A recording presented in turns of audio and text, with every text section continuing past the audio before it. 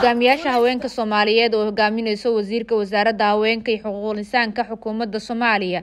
Khadiijo maxamed diiriya ayaa wada dardargelinta toddobaadka haweenka soomaaliyeed iyo xuska sideeda maarso oo sanadkan halkudhig u ah. Haweenka soomaaliyeed garanwaaga guryihiina ka soo saara ayaa maanta deeq raashin iyo dhar iskugu jira waxa ay gaarsiiyeen barakacyaasha degmada dayniile ee gobolka banaadir maanta oo ah maalintii labaad ee toddobaadka haweenka soomaaliyeed ayaa hogaamiyaasha haweenka oo horkacayaan wasiir khadiijo maxamed diiriye taliyo ku-xigeenka ciidanka booliiska soomaaliyeed jenaraal sakiya xuseen axmed wasiir dowlaha wasaaradda haweenka aamine xasan cali oo uu heliyo gudoomiyaha degmada daynile iyo mas'uuliyiin kale ayaa sidoo kale kormeer ku sameeyey dhismaha laamiga degmada dayniile ee gobolka banaadir.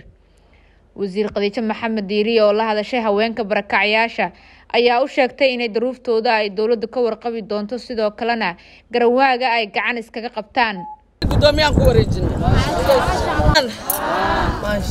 Duruufta kasta oo ku nooshihiin dowladda waa idinla qaybsanee?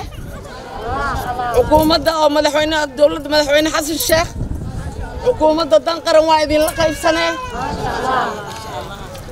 Annagaa u xil saaran. Meel kastoo joogta inaan idinkugu imaanayna halka walaxoo laydinka rabo waa ogtiin maho garanwaaga guryihiinna ka soo saara. Yaan laydinku soo dhex dhuuman iska soo qabta. Nabadaad u baahan tihiin horumaraa u baahan tihiin. Dhibaatada kulligeennan soo wada gaaray idinka idin soo gaarta si aan uga wada baxno maxaan isku ognahay?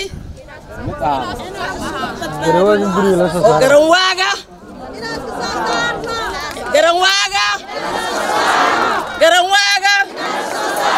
garanwaaga garanwaaga sucaad cabdicasiis daahir warbaahinta qaranka muqdisho